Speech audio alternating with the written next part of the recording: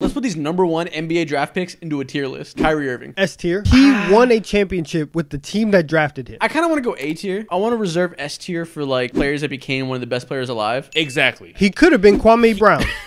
and that's why he's A tier. Yeah, A tier for Kyrie. Ben Simmons. D. He was a multiple time All Star for the team that drafted him. Yes, but then he cost him a playoff series by not dunking the ball over Trae Young. With the way he went out, I think this is a C to be honest. Zion Williamson. C tier. C. You could say B because when he's healthy, he has been truly incredible. He's just not healthy. He just hasn't played enough games. It's like, bro, what have you done for my team other than giving us more clout? They don't even have clout. They're still the Pelicans. They don't, they don't have clout. Anthony Davis. Is this a S? He's won a championship. He was legitimately a top five guy. S Yeah. tier. DeAndre Ayton. Oh man, this is like a D. He's about to be out of Phoenix. They didn't even want to give him the contract last year. They gave him the contract just so that they had the ability to trade him later on. He's not even an All Star. Like he's got to be D. Yeah, he's whack. You like Jock and Landale still steal your minutes, bro? Get out of here. You're not touching A, B, or C.